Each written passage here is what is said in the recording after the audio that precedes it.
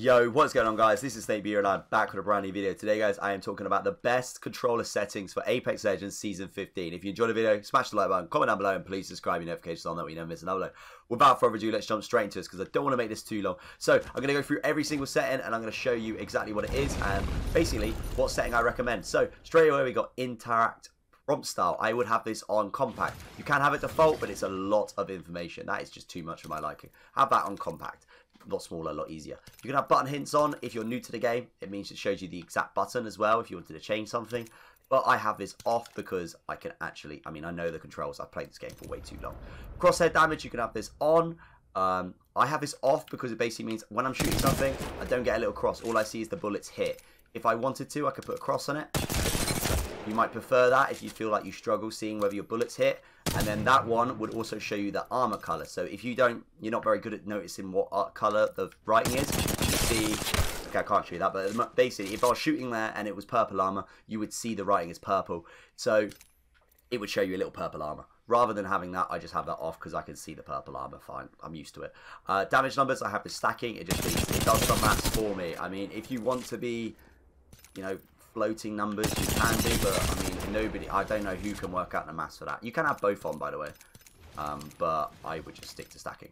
Uh, ping optimicity, I would have this on faded. It just basically means if someone's pinging here, when you zoom in, it's faded. Won't block your vision at all. 100% have this faded cherries. I've definitely said that wrong. Um, basically have this on because this is the kill feed. This will show you when somebody has died, whether people have traded. Have this on. Minimap rotation. This means when you turn left or right, your map will move with you. I like that minimap. Um, it just works pretty well for me. You can have that off though if you prefer. Weapon auto cycle on empty. This means as soon as my flatline runs out of ammo, let's practice. So as soon as my flatline runs out of ammo, I've got 20 bullets in the chamber. All right. I ran out of ammo. It automatically swaps to my 301. Not because my 301, it's not because the flatline ran out of ammo, um, like just in the chamber. You will still stay on your gun if there's ammo left. So don't think it's going to automatically change it just because you ran out of bullets. It's only if you've got nothing left at all. Nothing left in your bag. So keep that on. Um, auto sprint, I have this on because it feels absolutely gorgeous, you know. All I have to do is actually push down my left analog stick and I'm running and I'm flowing and it's beautiful. You might prefer it differently, but I really would recommend you save your analog stick doing that. Double sprint, have this off because what's the point if you have an auto sprint on? Jetpack, I've got it on toggle. Basically means I have to double tap A and then I can focus more on my actual rockets. You can have it on toggle, but that does uh, hold, sorry. But that means you just gotta you gotta hold it. As soon as I let go of it, it kicks back down.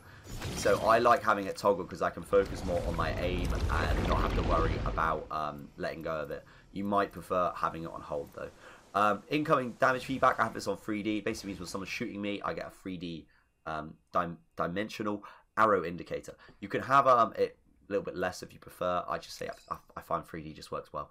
Um, taking damage closes death box. Have this off. You are silly if you do not have this off because this will kick you out of the death box if you have it on whilst you are looting. So please, for the love of God, have that off because the last thing you want to do is get kicked out your box as you're armor swapping. Pop up, pop up. This shows you if I have this on what the hop up is. So if I swap to my flatline now, you see in the bottom right, you can see that it says trades ammo and fire rate for damage. Um, so if you're not very good with hop ups, maybe you don't know the ones this season, then maybe have that on. I have it off because I know. Stream mode, this hides the people that kill yous, um, kill you, uh, name. So if I got killed by someone and I didn't want them to get abuse, uh, I can have this off, uh, sorry, on. Um, that way they do not get seen. Even if I want also to hide people's names in the kill feed, I can put all on. But that is just literally not really needed because sometimes you want to know who kills you. A lot of streamers don't even bother doing that because they like to see who kills them. Now, not anonymous mode, I would have this um, up to you again. Uh, if you're a big streamer, you might want to have it enabled. I have it disabled because I do not give a toss if people know if I'm in their lobby. I do not mind. Um. Uh, usage sharing, I have this enabled. EA will then just take some data. Hopefully, they'll do something with it and it will work out and it'll do something good for the game. Cross platform play, I have this on because I like playing with PC players. It does not mean I'm going to get automatically matched up with. Um, uh, the PC players, uh, I will mainly be in console lobbies, but if I want to play with them, I need to have this enabled. Uh, performance uh, display, you can have this um, you can have this sorry uh, on because this then shows the ping uh, on the top right. So I have that on so I, am able to see my performance make sure I'm not lagging and whatnot. Club invites have that enabled because why wouldn't you? Communication filter I have this for everybody so I can see every time somebody messages if they send a voice message whatnot voice chat whatever.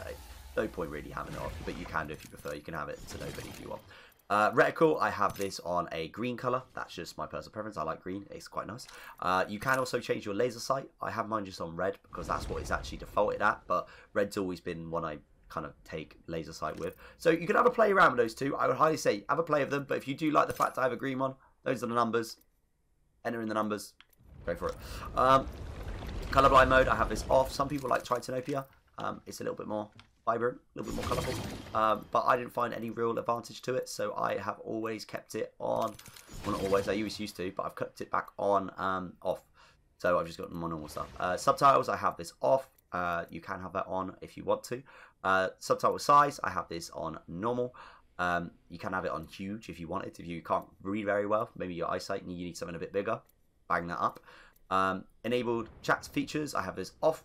Uh, don't really need this on, uh, but you can do if you prefer. Again, it's, it's, not really important. Disable voice chat, I have this off. Um, if I have this on, that means it will stop it and I won't be able to hear anybody in voice chat. So if you get some toxic people, you might want to keep that on. Um, and then the last few bits are basically to stop tax, uh, chat to text um, speech, sorry. So I have this off so that basically I don't keep getting people spamming stuff in the chat and I keep hearing it. So if you play customs and things like that, these ones you might want to have off because then you can't hear people absolutely spamming the chat. It's really annoying. Um, then we just go on to controller. So we got button layout. I would highly recommend customize, but you can pick any of these if you prefer.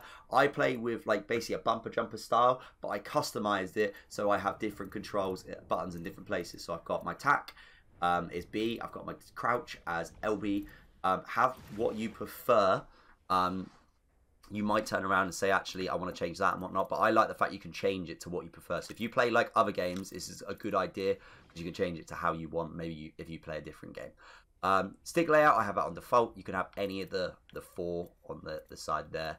Uh, what Southpaw, Legacy, Southpaw. Uh, you might be different to me, but I always have it on uh, default. Uh, tap to reload, definitely have that because it means you can loot quicker. Um, yeah, 100% do that. Um, you can have Toggle, I have my, my crouch on toggle. Basically means I don't have to hold it. Uh, does mean I would struggle with bunny hopping. So if you want to be, or spamming crouch. If you prefer that, then have it on hold. I just always have got better on with toggle because it does mean when I jump and slide down a hill, I can focus on aiming rather than worrying about my crouch. Um, then we got on here, survivor slot, have this on. Basically means you can hold down the D-pad and you'll get your heat shield, your res beacon out. If you have this off, you have to go all the way into the menu and go to this survival slot. Too much effort for me, in my opinion, so I have that on. Um, then we got dead zone. Definitely have this off because it means it's how sensitive your triggers are. If you have this on high, you're going to have to hit your trigger all the way down for it to actually register anything. So please have this off. It means it's super sensitive. As soon as you hit the button, it will shoot. As soon as it hit it, that have it on. Menu cursor speed. Have this about halfway, maybe a little bit more. Practice it. Don't just think, actually, it's too high for me. No, practice it because this is going to be the sense that will help you armor swap quicker. If you don't have it very high, you're not going to be able to armor swap quickly. You're not going to be able to loot quickly. This is a big thing in Apex. You need to have it quite high because you want to be able to loot quickly. Right, and then the last things we got mainly is sensitivity. Now, I, I basically, I play um, ALCs if you're an average gamer and you just play now and then, I would highly recommend just keeping to just normal look sensitivity and all this, just changing it. A lot of people like uh, free free. Um, classic. I know, I know. Some people have said that to me. Um, I like to use ALCs because I'm just play this game way too much, and I like to have the most perfect sensitivity for me. So that's all my one. I'm not going to say copy it, but that is my sense.